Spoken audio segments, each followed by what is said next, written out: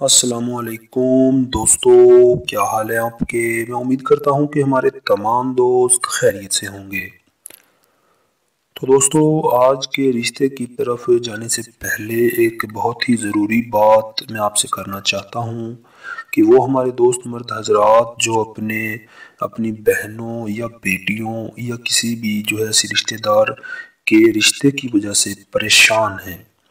تو وہ جو ہے اپنی پریشانی ختم کریں آپ جو ہے اپنی تمام تر تفصیلات ہمارے جو ہے ای میل پر ہمیں سینڈ کر دیں۔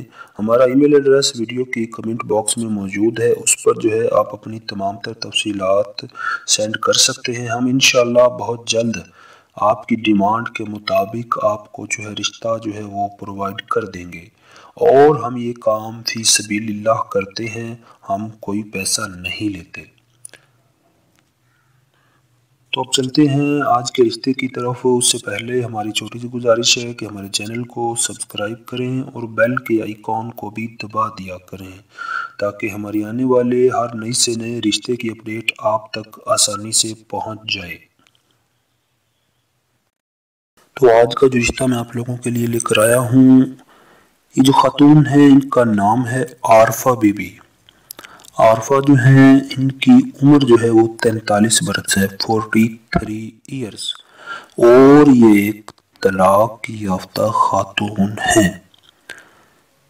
تقریباً دو یا تین سال کا عرصہ ہو گیا ہے ان کی طلاق ہوئے۔ مسلمان ہے فرقہ سنی ہے، کاسٹ جو ہے ان کی یہ ڈوگر برادری سے ان کا تعلق ہے۔ اس وقت والدین کے ساتھ والدین کے گھر پہ ملتان سٹی میں رہتی ہیں۔ ایک بیٹا، دو بیٹیاں ہیں اور تینوں انہی کے ساتھ رہتے ہیں۔ ان کی تعلیم میٹرک ہے یعنی کہ دس جماعت پاس ہیں، فرقہ سنی ہے، دیکھنے میں خاتون جو ہیں خوبصورت ہیں۔ ہائٹ جو ہے پانچ فٹ دو انچ ہے۔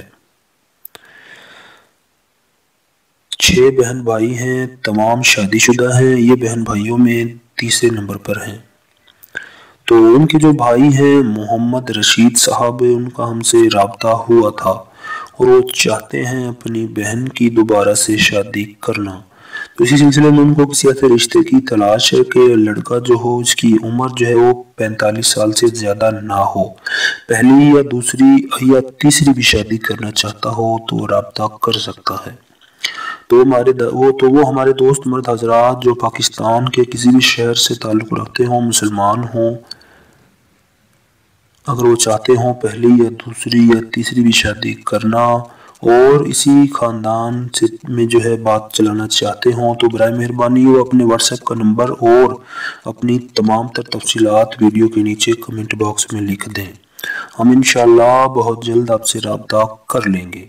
اگر آپ کے نصیب میں ہوا تو یہ رشتہ ضرور آپ لوگوں کے لیے خوشیاں لے کر آئے گا۔ تو اسی کے ساتھ ہمیں اجازت دیں۔ اللہ حافظ۔